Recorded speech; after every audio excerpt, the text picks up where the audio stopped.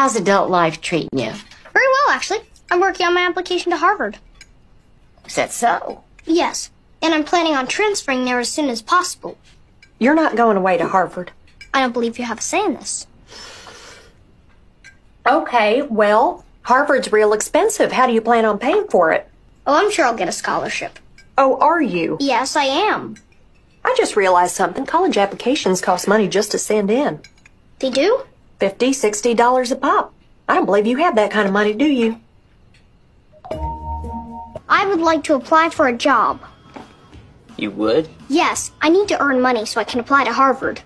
I thought about going to Harvard, but then I realized the shack is my passion. So can I work here?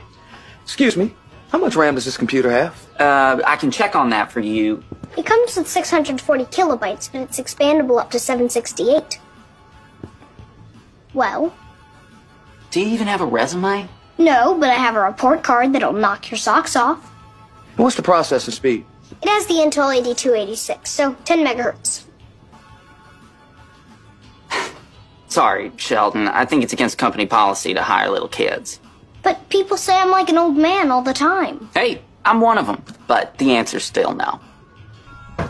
Meemaw! Hey, looking sharp. You're not gonna try to sell me a set of knives.